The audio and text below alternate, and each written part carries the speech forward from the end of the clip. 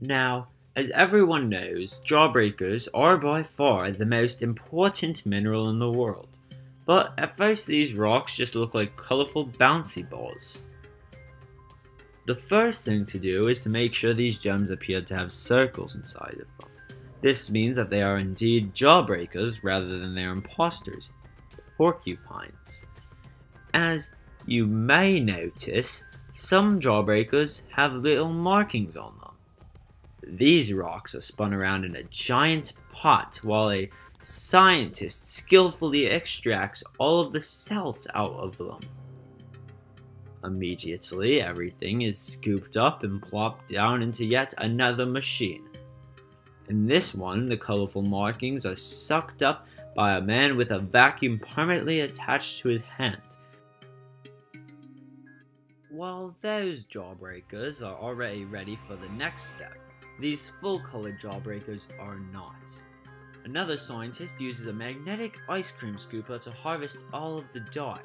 You may know this dye as cough syrup. Then the man must attract all of the salt like before. This time it is kept in a giant silo to later be created into bathing salts. Then the scientist harvests the rest of the cough syrup until the colored jawbreakers become much much smaller and the same shade as a decade old tennis ball. They are then sucked up and pushed back down again to lower the self-esteem.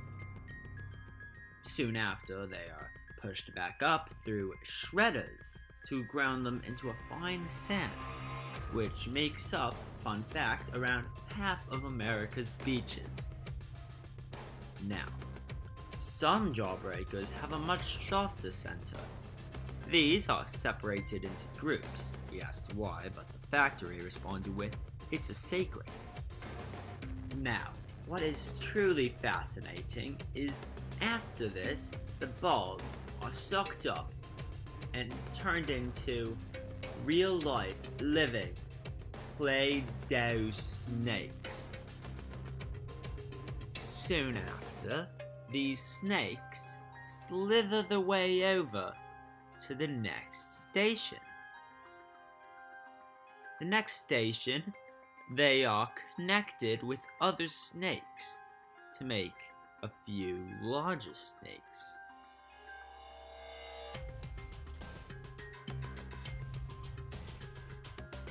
Now, these snakes slither their way into a tube where they are fed so much they emerge fatter.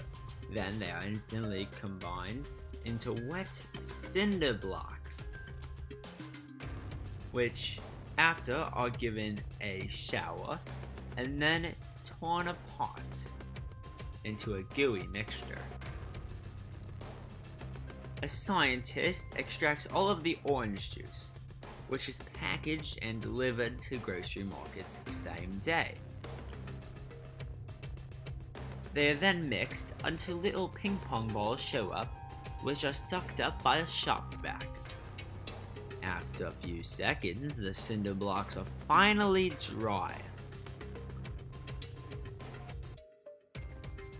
After they are frozen together with an axe. After a few seconds, though, they are melted again and sucked up into little tiny highways. Though this takes a while, this step is extraordinarily important, for reasons I do not know why.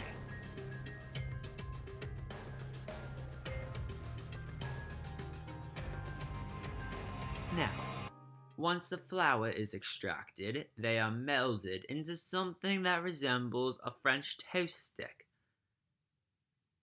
Now, while the pixie stick dust, also known as sugar, is sucked up, now, next time you look at a jawbreaker, just remember, they all creepily disappear. Thank you, this has been How It Is Unmade, and I'm your host. Please leave a like and subscribe. Stay tuned for next episode, which I'm not sure if we'll actually make. Bye.